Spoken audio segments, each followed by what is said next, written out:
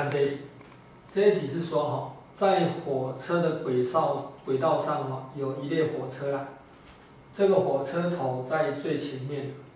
共后方共拉着六节车厢，哦，这个火车头哈，拉着六个车厢啊，啊啊车厢每一个哈都是两公吨的哈，这个一个小 m 哈。都是那个两公吨，就是两千公斤的，哦，两千公斤。好，那现在当火车哈，当这列火车等速前进的时候，诶，火车头对车厢的水平拉力啊，就是这个水平拉力啊，它是三乘以十的四次方，哦，这个水平拉力哈是三乘以十的四次方哈，牛顿的。好，那这个拉力实际上什么？实际上是等于这个摩擦力的，这个动摩擦力，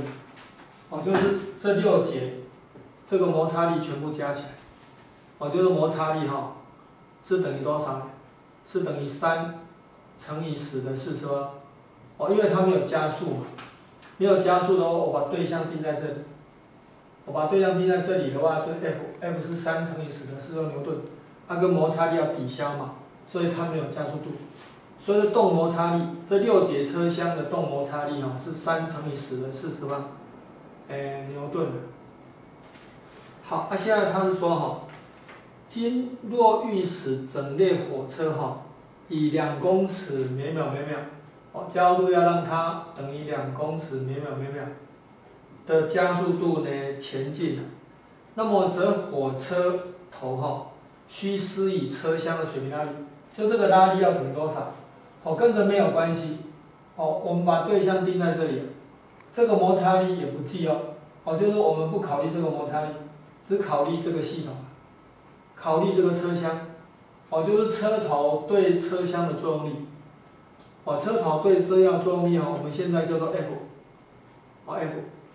哦，本来如果等速的话是三乘以十的四次方，那现在力量增加了，哦，F 呢减掉什么？减掉这个动摩擦力。F 等于 ma 了，那 m 的话就 ma，那现在 m 的话是六个 m，六个 m，好，六节车厢，啊，六六乘以的话，一个 m 是二乘以十的三次方公斤嘛，m 啊 a，a 的话的话，a 的话是二，所以这样多少？这样是六四二十四，哦，这有二二，六是二十四。二十四乘以十的三次方，二十四乘以十的三次方，这个是等于二点四，二点四乘以十的四次方。但是这个动摩擦力哈，是三乘以十的四次方啊，